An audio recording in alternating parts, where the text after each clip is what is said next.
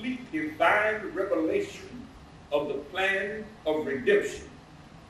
A divine revelation of our sin and God's remedy for sin. This chapter portrays the awfulness of sin and heaven's price to atone for sin. Sin in the Hebrew shatah, the default, is from the root shatah, meaning to fall short, to do wrong, to offend, to be culpable. In the New Testament Greek, it's taken from the word hamartia, meaning to miss the mark. See, 1 John 3 4 is a transgression of the law. Sin. 1 John 5 17, all unrighteousness is sin. Sin. Romans 14 23 tells us whatsoever is not of faith is sin. Sin. Romans 14 23. Whatever is not of faith is sin. 1 John 5 17, all unrighteousness is sin. In light of all this, then, sin is any deviation from the known will of God, either of neglect to do what He has specifically commanded or doing what He has specifically forbidden. Sin originated with Lucifer. According to Ezekiel 28 11 to 17, we find that he had an inordinate pride in the beauty and wisdom that God had given him. And as recorded in Isaiah 14 12 to 14, an overweening desire and jealousy for what God had not given him. Sin entered this earth when Satan persuaded Adam and Eve to take that which God had reserved for himself under the subterfuge that they would thereby obtain a superior state of wisdom. Thus, by one man, sin entered into the world, and as a result, all have sinned. The Bible teaches for all. All have sinned. Whatever your social standing, you've sinned. Whatever your financial accounting, you've sinned whatever your racial background, you sin. Whoever you are, you sin. For all have sinned and come short glory of God. That's your trouble. That's my trouble. We are sinners. And as a result, man is unsuited to God. In his sinful state, man is disgusting to God. In fact, the Bible says sin is an abomination to the Lord. Man's head is sick. His eyes are evil. His lips are unclean. His tongue is unruly. His neck is stiff. His throne is an open sepulchre. His heart is deceitful and desperately wicked. His bones are full of sin. His hands are full of blood. His feet run swiftly to mischief. In this loathsome condition, God cannot stand the sight of the creature that he has made. But the thing that hurts God the worst is the fact that man likes sin. We enjoy sin. Sin has a good flavor. We engage in sin, spend our time in sin, exhaust our body and immune and immerse our mind in sin fellowship with sin and have inner craving for sin. You come short of God's moral requirement. Fail to live up to the Sermon on the Mount. Failed, I say, to live up to the teachings of Christ. So we're in bad shape. Lost our natural affection. Bad shape. Lost our love for one another sunk so low, we lost our own self-respect. Doesn't take much to see that. All you have to do is turn to BET and watch the video. Come on. Lost our self-respect. If we're not parading our women around half naked, and we're calling them all kind of terrible words, bragging about how we misuse them and abuse them. We think that what makes a man is the ability to have a child. And what makes a woman is the ability to bear one. That's foolishness. Any dog can conceive. And any female dog can have a litter. What makes you a man is not what's between your legs. What makes you a man is what's between your ears.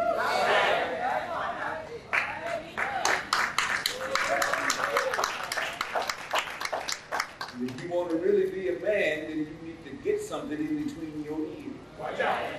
So that you can take care of what you produce. So that you can train them to be a real man and a real woman. But I digress. We've even reached the point where sometimes we lose our spiritual joy. Post introspection points the fact that God's people just are not satisfied to be God's people. We've got to get as close to the world as we can. All the time forgetting that by beholding, we become changed. All the time forgetting that there is a disease in our humanity. And the correct name for it is sin. And dress it up if you wish. Call it by some polite name if it'll make you any better. And you can say that we only need to catch up with what is best in the human experience. And you can say that we are suffering from cultural lag. And you can say that our problem is ignorance and that once we know what is right, we will do what is right. But if the prophet Jeremiah were here today, he would say in no uncertain terms, stop deceiving yourself. Right. Sin is just sin. Sin destroys the nervous system of conscience. Sin wrecks the power of right thinking. Sin, the sickness which brings us to rebellion against God and rebellion against our best selves. Sin leads to estrangement, to unfriendly distance with God. Sin leads us from truth to error, and we find ourselves missing the moment. In fact, to be truthful, each of us must confess that inside each of us there's a new me and an old me. And every time I think I have the new me lined up, the old me shows up. Uh, there's a war going on inside. And my mind is at odds with my members. And my carnality is at conflict with my spirituality.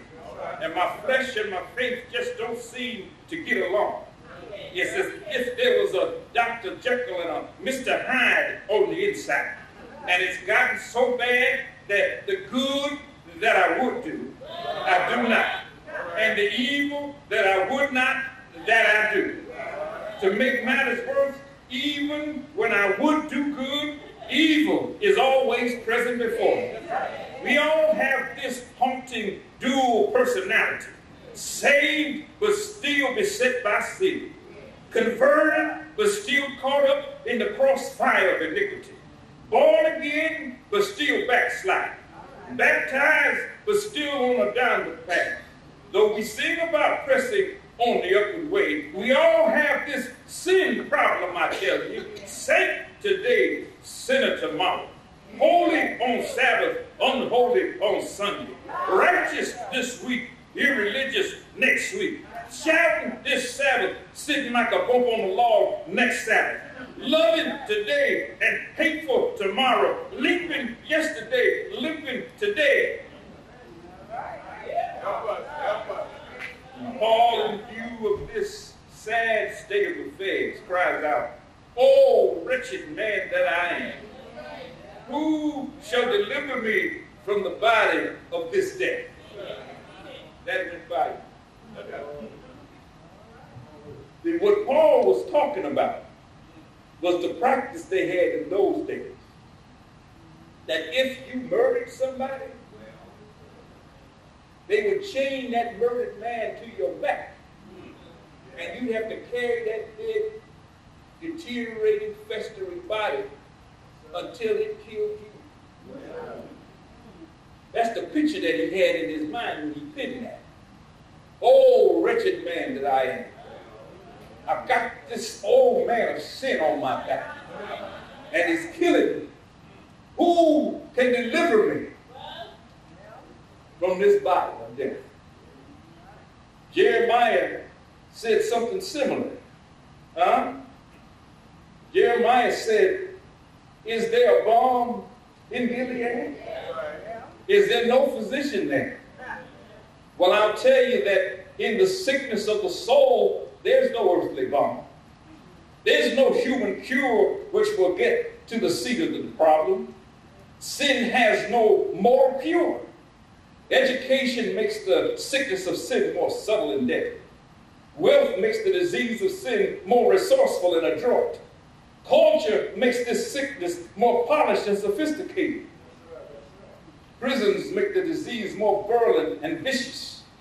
Recreation makes the sickness more vigorous and supple. Nothing on this earth can take away this disease. All of you who are hurting right now with sin want to be healed, but you keep looking for pretty attractive healers.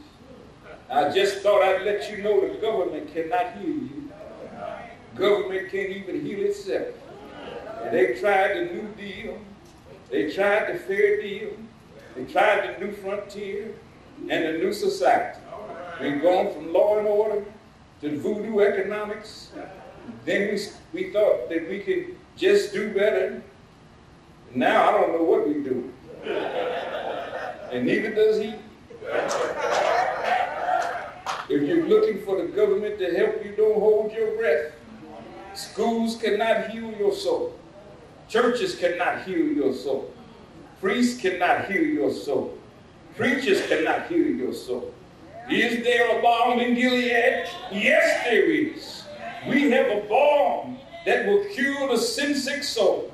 And my Bible tells me that in the fullness of time, when all things were ready, God sent his son one who heals all our diseases and takes away the awful sickness of sin.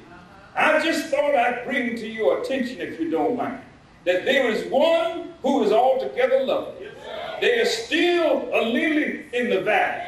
There's still a bright and morning star, a sun of righteousness risen with healing in his wings. If you need physical healing, somebody call him Jehovah Ropheka the Lord who healeth thee. If you need spiritual healing, his name is Jehovah Mekoddishkem, the Lord who sanctifies you. If you're hungry today, he's Jehovah Jireh, the Lord who will provide. If you're troubled today, let not your heart be troubled. He's Jehovah Shalom, the Lord my peace. If you're in need today, he's Jehovah Shammah, the Lord who is there. He's El Shaddai, the Lord God Almighty. You ought to worship him. He's Jehovah Shekinah, the Lord our glory. You ought to praise him. Praise him for no other reason than he's worthy to be praised. He's whatever you need. He's everything you need. The angel Gabriel said, just call his name Jesus, for he shall save his people from their sin. So when by faith I call him, I no longer have to miss the mark. Instead, like Paul, I press toward the mark with all my weakness and all my wickedness. I press toward the mark with all my faults and all my failure. I press toward the mark with all my shortcomings and all my disappointments, with all my trials and all my tribulations, with all my rights and all my wrongs, I press toward the mark, not because I'm so righteous, not because I'm so holy, not because I've kept the commandments so well, because all my righteousness is but filthy rags. I press toward the mark. Because I, I have to walk by faith and not by sight. So I press on because I know the Lord has saved my soul. I press on because I know the Lord has made me whole. I press on because I know the Lord has laid his hand on me. And the angels in heaven that sign my name. And can't nobody do me like Jesus. That there's none other name under heaven given among men whereby we must be saved. Yes, there's a balm in Gilead. He's a friend that sticks closer than a brother. Yes, there's a balm in Gilead. He was wounded for our transgression. He was bruised for our iniquity. The chastisement of our peace was upon him, and with his stripes we are healed. His name is Jesus Christ, Lord. And though your sins be as scarlet, they shall be as white as snow. Though they be red like crimson, they shall be as wool. There is nothing too hard for God. No matter what you've done, no matter how long you've been doing, no matter who you've done it with or who you did it to, God still loves you. God still will forgive you. But you have to decide to let Him do it. We want to thank you for spending this time with us. And we ask that if you were impressed to give your heart to Jesus, that you would, at your earliest convenience, send a note to the following address Ephesus SDA Church, P.O. Box 201 119, San Antonio, Texas